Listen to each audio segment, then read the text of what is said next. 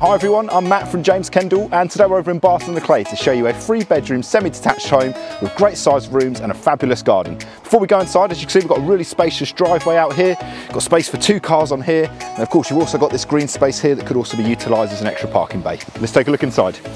Heading inside, we're greeted by a really spacious entrance hall. As you can see in here, we've got some space for our coats and shoes, some understairs storage, but today let's start in the living room. So this is a lovely sized room and here it's a real square room, so you can use all the all the space in here, all the angles, a nice big bay listening in lots of natural light, our fireplace as well, it's a really lovely cosy room in here into our kitchen diner now and like the lounge it's another great sized room. As you can see in here there's lots of worktop space space for our double oven lots of storage and then of course there's space for a really good sized dining table. This is a really great room for entertaining family and friends but you also have this reception room at the rear as well. So this was part of an extension that was added on. Here we have an insulated ceiling. So this is great. It can be used all year round. It can keep it warm in the winter and nice and cool in the summer Currently used as a study, it's a really versatile room. Off of our kitchen, formerly the garage, this room here has been converted into a work from home office. In here we also have a utility room, really handy for keeping those noisy utilities out of the kitchen, and a downstairs toilet as well.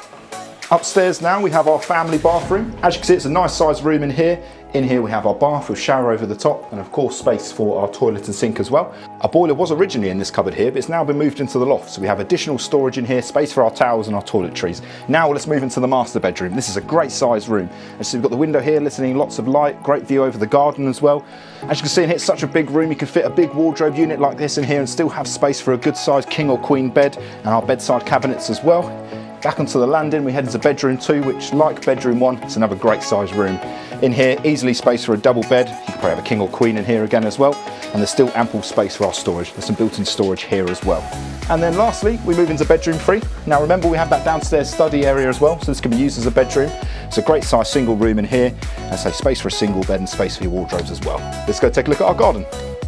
Into our garden now, we have a great sized patio area here and then a lovely sized garden as well. It's quite a private garden too, not many people can see you in here. It's a lovely plot.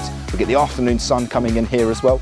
As you can see, we've got our extension here. A few years ago, the owners here actually had plans drawn up to do a further extension here to square off to make a lovely sized kitchen diner, which I think would be a really great addition. And it also works out really well because you've got such a great sized garden already, it won't affect the size of your garden. So if you're interested in living in a spacious three bedroom semi-detached family home in the sought after village of Barton-le-Clay with all these great walks nearby, that great sized garden, those massive rooms upstairs, give us a call on 01234 852 434. Thank you for watching.